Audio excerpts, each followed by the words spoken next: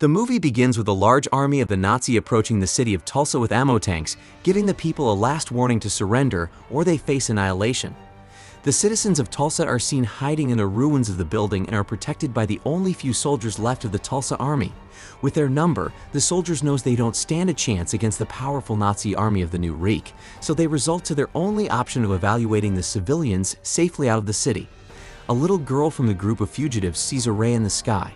Her mom is so excited knowing the freedom fighters have come to their rescue. One of the freedom fighters covered with a powerful ray of light scouts everywhere from the sky. Upon realizing how Nazi ammo tanks are surrounding the refugees, he takes action immediately by destroying the military equipment and giving people a chance to escape. This superhero is called the Ray, and he meets with his remaining members of the freedom fighters called Phantom Lady, Red Tornado, Black Condor, and Dollman. Ray tells them the purpose of the mission, which is to making sure the refugees escape safely through the borders. And to do that, they begin to eliminate the Nazi army. Here we get to see what the freedom fighters are capable of when Phantom Lady uses Umbrakinesis powers on some of the soldiers, making it very easy for her and Dollman to finish them off. Red Tornado is a combat android with the ability to manipulate the surrounding air. Dollman can shrink so small that you find it so hard to see him.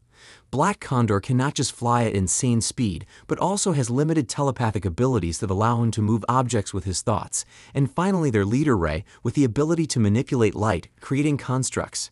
Just when the freedom fighters seem to be gaining the upper hand against the Nazi army, a very powerful laser destroys the bridge the citizens are using as an escape route. That person is called the Overgirl, who shows up with two other members of the new Reich called Dark Arrow and Blitzkrieg to stop the freedom fighters once and for all. Blitzkrieg is just like the evil version The Flash, while same goes for Dark Arrow. During the fight, we find out that the main targets of these supervillains is Red Tornado because he has a very important device they want, which is his brain. Overgirl deals with him with her incredible strength by pushing him deep underwater and forcefully uses her laser to take the device from Tornado's head. Tornado is not ready to give up, but it is already over for him when his hands gets ripped out from his body. Luckily, Phantom Girl comes to his rescue. Black Condor holds off Overgirl, while Ray takes Tornado far away as possible. Dark Arrow tries his best to shoot Black Condor, but was prevented by the Phantom Lady who, with the help of Dollman, immobilized the archer in his own trap. The dying tornado tells Ray not to allow his brains from getting into the enemy's hands, and in order to do that, it must be destroyed. Tornado dies after giving Ray the device. As if that was not enough, the opponents started to attack again, and this time, the freedom fighters are no match for them. The Vibe, an ally of the Freedom Fighters, shows up to help them escape through his portal, but a laser from Overgirl hits Dollman, which killed him instantly. Seeing the loss suffered, Phantom Lady and Black Condor goes to hold off the villains just to give Ray the chance to escape with a brain, but Ray unexpectedly gets attacked by Blitzkrieg, seriously wounding him.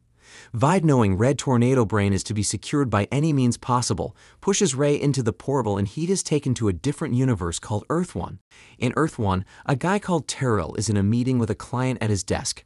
The woman tells him how she was evicted from her house a week after she rented the place, all because they found out she's a Muslim. Terrell promises to investigate, telling the woman not to pack yet, which made her so happy because she doesn't want to pull her kids out of school and everywhere else in the neighborhood is so expensive. Ray practices for a speech about the expansion of fair housing laws to the entrepreneurs. His friend Trujillo, knowing how nervous he is, tells him to relax. Jenny enters the room and informs her friends to get ready. Before Terrell had a good start to the speech, one of the entrepreneurs interrupts him, revealing that the company would close soon, banning Jenny, John, and Ray. The reason was property losses, which could lead to serious tax cuts. Therefore, it was only profitable to suspend operations. After the conference, Terrell and Trujillo went to a nearby bar to drown their sorrows in alcohol. Trujillo switches the topic after noticing one of the clients staring at his friend. He is surprised that Terrell hasn't yet told his parents that he is gay, but he still wanted the boy to have some fun by ordering him to speak to the client eyeing him. But Terrell wasn't ready to flirt for professional reasons, so he decided to head home. During Terrell dinner with his parents, his mom started asking about the girl he normally works with, Jenny, without realizing his actual secret. Terrell decides to finally reveal the secret on being gay to his parents, but being scared on how they might react to it quickly changes the subject by informing them on how he was recently fired from the company he works. To his surprise, his father Robert is happy, considering the news as a blessing in disguise because he feels this is going to push his son into getting some real job, just like how his late brother lost his football scholarships and joined the Marines. After dinner, the boy went outside to talk to Trujillo on the phone, but the conversation is interrupted by a gigantic portal that appeared on his lawn, and a mysterious person emerges from it. This person is revealed to be the injured Ray from Earth X, and Terrell is so shocked that they both look alike.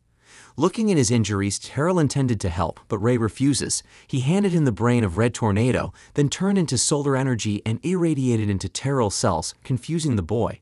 Terrell immediately meets Trujillo and tells him everything about his incident, but as expected, Trujillo could not believe what he says, considering his story to be invented and unsupported by evidence. Even when Terrell reveals the secret core Ray gave him, his friend still didn't believe him until the device is accidentally activated. The friends gets afraid and are in distance away from the device when a hologram of the robot's stature appeared out of it.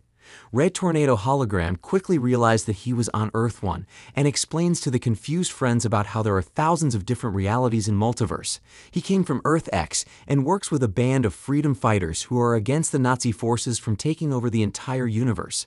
His brain in their possession contains information vital to the resistance including the location of their base of operations. The new Reich led by Overgirl are searching for his brain and gives the both friends a task to destroy it before it falls into the enemy's hands.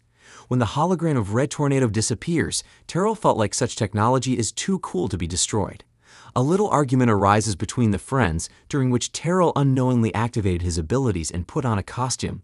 It was then that Trujillo realized that when a doppelganger from another world exploded, he passed on to Terrell his abilities.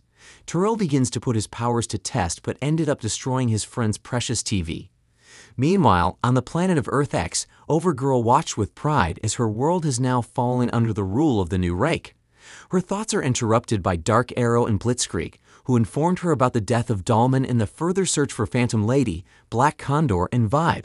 They also let her know that Ray ran away with a red tornado brain through the portal and they have no idea where he is now. Overgirl orders them to ready all their forces to attack the rest of the freedom fighters, willing to get Red Tornado Brain by any means possible. After a little talk, Terrell decided to learn how to control his powers. After exploring the sky for a while, he already discovered a new ability and showcases it to his friend after landing. He can control light to such an extent that he can make himself invisible. Meanwhile, at Star Labs in Central City, Caitlin notices a strange radiation from another world, so she called in Cisco to distract him from the show's marathon. Someone got into their world through a portal moments ago, but the person disappearing as soon as he arrives is what confuses them. Snow suddenly notices a radioactive energy, which is somehow comparable to a nuclear weapon moving all around the city. On the other hand, Trujillo returns Terrell to that bar, where he tries to convince his friend once again to make a move on the boy eyeing him. As the guy goes to get an extra drink, Terrell uses the opportunity to talk to him alone. He finds out the guy name is Jacob and started having a long discussion that led them both towards the park. Suddenly, the men heard a woman scream, immediately running towards it and noticing a man trying to rob a lady. Terrell tells Jacob to call for help, but immediately he goes away. Terrell uses his powers to take advantage of the situation and hung the criminal on a street lamp until the police shows up to arrest him. Quickly, Terrell is in all the newspapers and is considered as the new hero in the city. A waves is about to destroy the ship of some travelers when Terrell shows up and rescues them, also saves a couple from a fatal accident, and rescues a mother and child from a burning building. Trujillo and Terrell get into another argument about why the Cortex device hasn't been destroyed yet. Terrell explains the device is indestructible, demonstrating it by using various tools to try and destroy it. Somewhere else in the city, we see two criminals robbing a bank when the alarm went off unexpectedly. The criminals are not bothered about it, knowing it will take some time before the cops arrive. Terrell, who has given himself a superhero name as the Ray shows up. He faces the criminals when they refuse to surrender. He didn't realize that there is a third thief from behind, and he is shot on his arms. Ray turns himself invisible, and the two criminals mistakenly ended up killing themselves. As soon as he hears the cops outside, he quickly flies back home.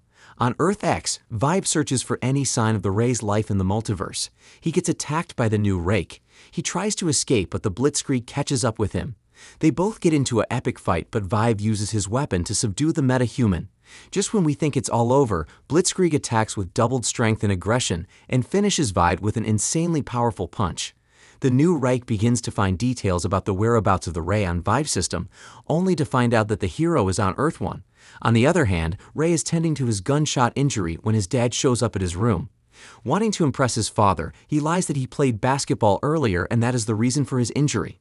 The father and son talk is interrupted by a call from Jacob, which Terrell goes out of the apartment to answer. They both discuss on going out on a date, but Terrell suddenly gets shot by a tranquilizer dart, which makes him fall to the ground unconscious. He opens his eyes only to see two figures staring at him. Terrell activates his powers in defense asking them where he is. The Flash and Green Arrow enters the room, and Terrell upon realizing who they are lets off his guard. The superheroes are impressed with Terrell's heroic activities, but cautions him about the damages he has been causing in the process. They decide to give him a proper training as a superhero, but it looks like the training will have to wait as Cisco just receives an alert concerning a recent attack in Detroit City. We see a gigantic robot demolishing the buildings of Detroit when the heroes arrives to stop it. As soon as Vixen arrives, they all immediately charges at the robot with every power they have. Vixen uses her totem to summon a gigantic whale to descend on the robot, but even with the amount of weight from the whale, the robot isn't harmed, but instead responds to her attack by throwing her through several walls. According to their plan, Terrell lures the robot to a trap set by Green Arrow, and the other heroes uses their powers to finish it off until its head is cut off. Few moments later, Terrell boyfriend breaks up with him at the bar for not being honest on who he really is.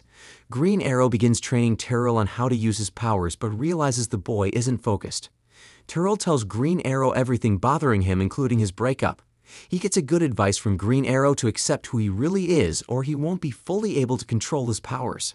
Terrell summons the courage to tell his parents about him being gay, but this is disrupted by an earthquake in his house. He hurries to his room only to meet Overgirl taking the Cortex device away. He snatches it from her and flies away, but she catches up with him in seconds. She beats him and almost killed him if not for his invisibility powers that saved him. But anyway, Overgirl isn't bothered as the device is with her once again. Trujillo returns home from work just to see Terrell waiting for him with bruises all over his face. Terrell apologizes to his friend for not listening to him in the first place. Now the device is in the wrong hands and thousands of lives is in danger. Trujillo encourages him not to give up. Back at home, Terrell finally reveals his gay secret to his parents, but it turns out they aren't surprised because they have been suspecting that about him. His parents isn't bothered as long as he is happy. They are too. Terrell meets Cisco at the Star Labs to help him get to Earth X to regain the device from the Nazi, and refuses backups from Cisco because he doesn't want others getting hurt for his mistake. Terrell is teleported to Earth X where he meets the surviving soldiers in the city, who takes him to the Freedom Fighters. Terrell apologizes to them for his carelessness and promises to help fight the new Reich in any way he can. The surviving soldiers are scared on waging another war with the Nazi because of their number, but with a motivational speech from Terrell, they are all encouraged to fight. The new Reich attacks their secret basement. Overall Girl threaten them to surrender or they will kill Vibe. Terrell smartly frees Vibe with his powers and a final battle begins. The Nazi army appear to be losing after they are ambushed by the surviving soldiers of Tulsa. Using every energy he has, Terrell overcomes the laser of Overgirl and defeats her. The rest of the freedom fighters also subdued her team members, while the Nazi army retreats out of fear. Phantom Lady tells them it's not yet over because there are still more members of the new Reich out there. Terrell refuses to return back to his universe. He made a terrible mistake and must fix it. He joins the freedom fighters, and that was how the movie ended. Thank you for watching guys. If you love animation movies, please subscribe to this channel and keep watching. Bye.